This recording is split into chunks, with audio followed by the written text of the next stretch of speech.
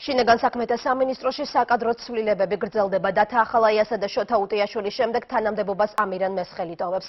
ვანო მერაბიშვილის უკვე ყოფილი მოადგილე დასაქმების სამინისტროში მიდის და მინისტრის მოადგილის პოსტს დაიკავებს. კულუარული ინფორმაციით ბაჩუ ახალაიას უწყებაში თანამდებობას მერაბიშვილის ვერც ერთი კადრი ვერ შეინარჩუნებს. ჯერ ისევ უცნობია დატოვებენ თუ არა თანამდებობებს სპეციალური ოპერატიული დეპარტამენტის ხელმძღვანელი დევი ჭელიძე, ასევე საპატრულო პოლიციის ხელმძღვანელები, რომლებიც მერაბიშვილთან დაახლოებულ პირებად მიიჩნევიან.